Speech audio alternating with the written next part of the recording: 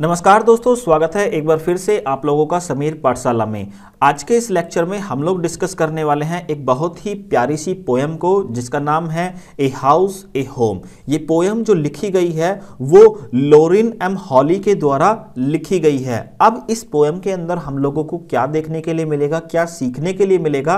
देखिए, बहुत ही खास चीज़ है, वैसे तो बहुत छोटी चीज़ है, लेकिन बहुत लोगों को इसका अभी भी मतलब नहीं पता होगा कि एक हाउस में और एक होम में क्या डिफरेंस होता है? ये डिफरेंस हम लोगों को इस पोएम के अंदर देखने के लिए मिलेगा। एनसीईआरटी की जो बुक है क्लास सिक्स के सिलेबस में जो लगी हुई है, उसके अंदर इस पोएम को रखा गया है। इसके अलावा केवीएस टीजीटी में भी इस पोएम को रखा गया है। इसीलिए आप लोगों को ये पोएम जो है आपके एग्ज़ाम में भी हेल्प करेगी। राइट ये पोएम बहुत ही इजी लैंग्वेज में लिखी हुई है। आप लोगों को आसानी से समझ में आ जाएगी। देखिए, शुरू करने से पहले मैं आप लोगों को कुछ चीज़ें समझाना चाहूँगा। जैसे कि इस पोएम के स्टार्टिंग में हम लोगों से एक क्वेश्चन पूछा जाता है कि what is the difference between a house and a home पहले आप इस पोएम को पढ़ने से पहले ये क्वेश्चन खुद से पूछिए कि एक हाउस में और एक होम में क्या डिफरेंस होता है। क्या आपको पता है? अगर आपको नहीं पता तो इस पोएम को पढ़ने के बाद आपको क्या पता चलेगा? क्या वो सही में न्यू था? वो मुझे आप कमेंट करके बताइएगा कि अभी तक इस तरह का डिफरेंस आप लोगों को नहीं पता था। ठीक है? अगर आप लोगों को ये पता है या नहीं पता है, वो बात रही अलग की, लेकिन जो भी आपके साथ बैठा बैठा हुआ है discuss it with your partner जो भी आपके साथ बैठा हुआ है, जो भी इर्द गिर्द है, उससे पूछो कि एक हाउस में और एक होम में क्या फ़र्क होता है। देन रीड द पोएम अगर दोनों में से कोई भी इस आंसर को नहीं दे पाता है सही तो आप लोगों को ये पोएम पढ़नी चाहिए। उसके बाद आप लोगों को सही से पता चल जाएगा कि एक हाउस में और एक होम में क्या डिफरेंस होता है। पहले मैं आप लोगों को इमेज के माध्यम से बता देता हूँ कि एक हाउस जो होता है, वो क्या होता है।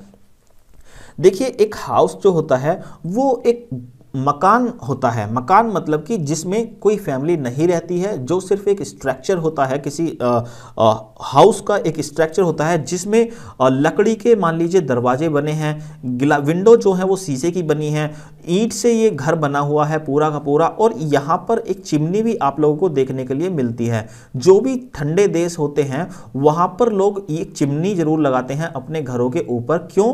क्योंकि उससे उनके घरों का धुआँ निकलता है। जैसे ही सर्दी के मौसम पड़ते हैं तो वहाँ पर वो लोग अपने घर में ही आग जला लेते हैं, जिससे उनका धुआँ इस चिमनी के थ्रू बाहर निकल जाता है। तो हाउस उसे कहते हैं जिसके अंदर कोई भी फैमिली नहीं रहती। अब बात करते हैं होम की।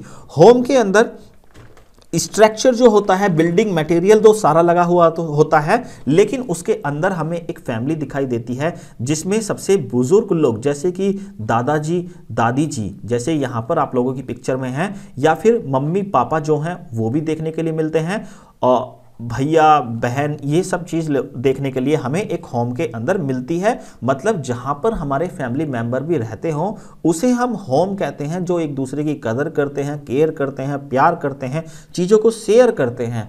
उसको हम होम कहते हैं। हाउस के अंदर ऐसा कुछ नहीं होता, वहाँ पर सिर्फ़ एक खाली मकान बना हुआ होता है, जिसके इर्द गिर्द कोई भी नहीं रहता है या कोई भी लोग उसके अंदर नहीं रहते हैं। तो देखिए, यहाँ पर सबसे पहले मैं आप लोगों को बताऊँगा कि जो हाउस है, वो किस तरह का है कि क्या पोयम के अंदर हमें हाउस की खूबी बताई गई हैं। व्हाट इज़ ए हाउस देखिए, सबसे पहले पूछा गया है क्वेश्चन कि एक हाउस क्या होता है? It is brick and stone and wood that's hard some window glass and पर yard it's halls and chimneys and tile floor and stucco and roof and lots of doors देखिए, एक house के अंदर हमें क्या देखने के लिए मिलता है कि ये किस चीज़ का बना होगा? ये ब्रिक का बना होगा मतलब ईंटों का बना होगा या फिर स्टोन यानी पत्थर का बना होगा। इसके अंदर एक हार्ड लकड़ी का इस्तेमाल किया गया होगा। जैसे कि हम लोगों के घर में आजकल दरवाजे बनाने के लिए प्लाईबोर्ड का इस्तेमाल करते हैं, उस तरह की हार्ड लकड़ी का इस्तेमाल घरों में किया जाता है। एंड सम विंडो ग्लास और जो जो विंडो होती हैं, उन पर विंडो ग्लास आप लोग देखते होंगे, आपके घरों में भी होंगी, उस तरह की विंडोज़ का इस्तेमाल किया जा, जाता है। एंड परहैप्स ए यार्ड ज़रूरी नहीं है कि एक घर में हमेशा, एक हाउस में हमेशा यार्ड हो, लेकिन बहुत से घरों में आपने एक यार्ड देखा होगा। यार्ड किस चीज़ को बोलते हैं? जहाँ पे घर के बाहर एक छोटा सा, एक मतलब हरियाली सी जहाँ पर हम लोग पौधे वगैरह बो देते हैं या थोड़ी बहुत घास वहाँ बो देते हैं ताकि हम उसमें घूम सकें। इस तरह का जगह को हम यार्ड बोलते हैं, घर के बाहर होती है वो। ठीक है? It's halls and chimneys and tiles floor वहाँ पर हम लोगों क्या देखने के लिए मिलता है? घर के ऊपर चिमनीज देखने के लिए मिलती हैं।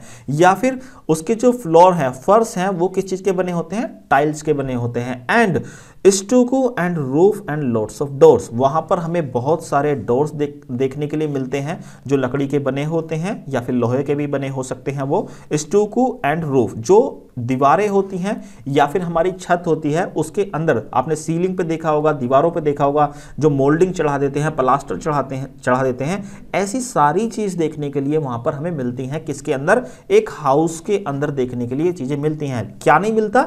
वहाँ पर फैमिली मेंबर्स नहीं मिलते। अब यही डिफरेंस है कि हाउस के अंदर तो हमें फैमिली मेंबर नहीं मिलते, लेकिन होम के अंदर हमें फैमिली मेंबर मिलते हैं। What is a home home क्या है? यहाँ पर आपको बताया कि एक होम क्या है? It is loving and family and doing for others it's brothers and sisters and fathers and mothers it is unselfish act and kindly sharing and showing your loved ones you are always caring देखिए, यहाँ पर बताया गया है कि एक home क्या होता है? उसके अंदर एक फैमिली होती है जो बहुत प्यार से वहाँ पर रहती है और वो एक दूसरे के लिए कोई भी काम करने में सोचते नहीं हैं। फैमिली जो रहती है वो एक दूसरे का काम करने में बिल्कुल भी नहीं सोचते। It's all about brothers and sisters वहाँ पर क्या होते हैं कि ब्रोदर्स एंड सिस्टर्स हमें देखने के लिए मिलते हैं। फैमिली मेंबर्स में और भी लोग हैं जैसे कि फादर्स एंड मदर्स वहाँ पर होते हैं। ब्रोदर्स एंड सिस्टर के अलावा फादर एंड मदर होते हैं। उनके अलावा दादा दादी जी होते हैं। मतलब फैमिली मेंबर में आप किन कि, कितने भी लोग आप ऐड कर लीजिए इट इज़ अनसेल्फिश एक्ट और कोई भी काम हम उन लोगों के लिए किससे करते हैं? उसके पीछे जब हम कोई भी काम अपने फैमिली मेंबर्स के लिए करते हैं तो कोई भी